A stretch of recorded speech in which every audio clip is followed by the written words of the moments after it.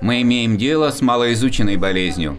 Коронавирусная инфекция сегодня в центре всеобщего внимания. И сбор информации о течении заболевания у разных людей, пожалуй, самая актуальная задача. На сегодня эта задача вот этого иммуноферментного анализа определить все-таки количество людей, которые переболели и сформировали иммунитет – Почему люди так по-разному переносят заболевания, тоже одна из загадок. Во всяком случае, пока. Опыт, накопленный при исследовании инфекционных заболеваний, используется и сегодня. Полимерная цепная реакция, ПЦР, высокоточный метод молекулярно-генетической диагностики. Он используется давно, десятилетиями. А вот иммуноферментный анализ позволяет обнаружить не сам вирус, а антитела, которые борются с ним – это более молодой метод. Иммуноглобулины G покажут, что человек переболел.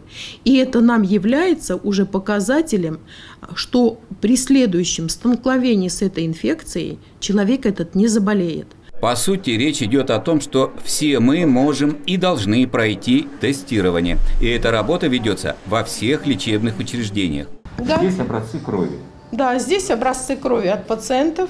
И дальше проводится, да, проводится исследование этой крови иммуноферментным анализом на мощных анализаторах, которые да, дают результат нам наличие. При этом самостоятельно в поликлинике могут приходить только здоровые люди, без симптомов ОРВИ. Пациент с симптомами может обратиться к своему участковому врачу, и исследование будет проведено на дому.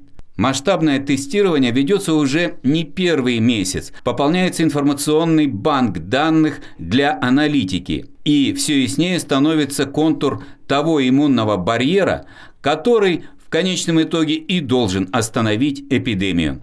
Сергей Берзин, Олег Степанов, Первый Мытищинский.